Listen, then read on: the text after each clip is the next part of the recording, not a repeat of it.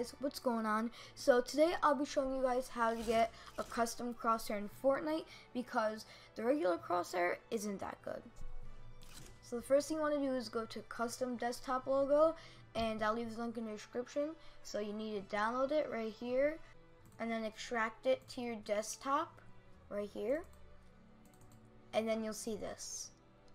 So the next thing you want to do is go to this crosshair pack. I'll leave the link in the description too and download it. So extract that too and then go to it.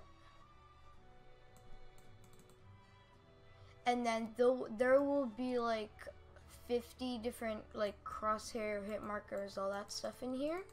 And what you want to do is select all of them and then unselect the one that you want, which which I did that one, and then delete all the other ones except for the one that you want. And then open up the custom desktop logo. At the bottom of the screen, you'll see a, a Coca-Cola logo.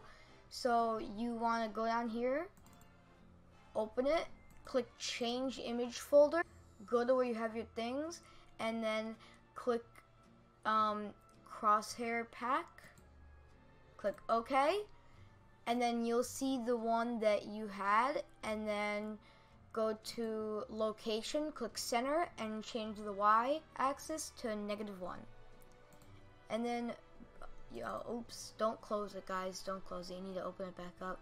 So let's go into game of Fortnite and check it out.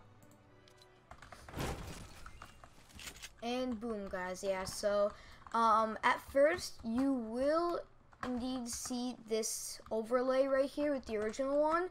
So you want to go to your settings and then scroll down to, I mean, uh, go to HUD, HUD, whatever how you say it, and then go to reticle, change it off, apply it, and boom, there you go, a new and improved crosshair for Fortnite.